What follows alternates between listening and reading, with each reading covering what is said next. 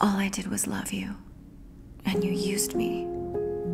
You took my love, my body, my home, my fairy tale, my belief that somebody loved me and cared about me. I was safe. You took all of my light and left me in darkness. The darkness of pain I have never felt.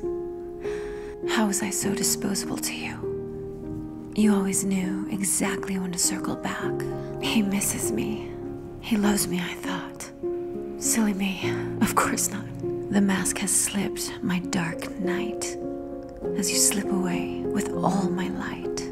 Your need to control another conquered soul, my abuser. How did I love you? I see you now. You move through life, stealing light from others because you have none. I seek, I wait, I pray for my abuser to come back to me. How much pain do you need, my dear child? How much pain do you need? There is no love here for you. There is no love here for you.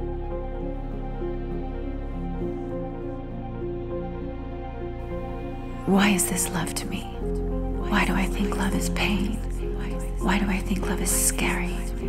Why do I think love is not safe? Why do I think love needs to be a fight? Why do I think love is out there somewhere, waiting for me? Why do I think love is something I have to find? Why is this love to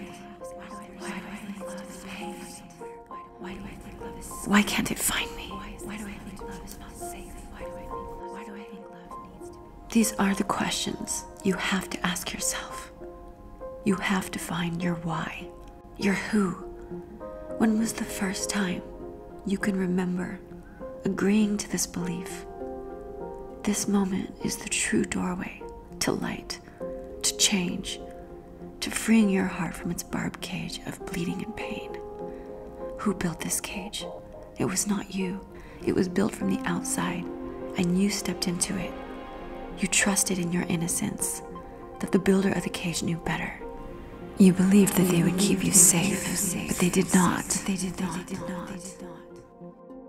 How much pain do you need, my dear child?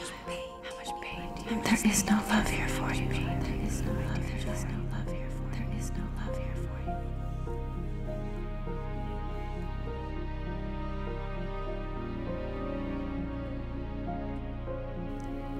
What I learned in my lifetime of looking for love out there kept me from looking for love in here.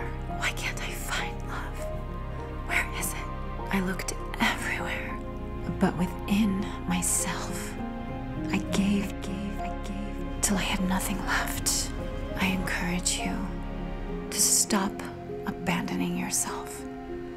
Stop looking for love out there. Because it is in here. This is where you will find love. And when you find love, others will find you too.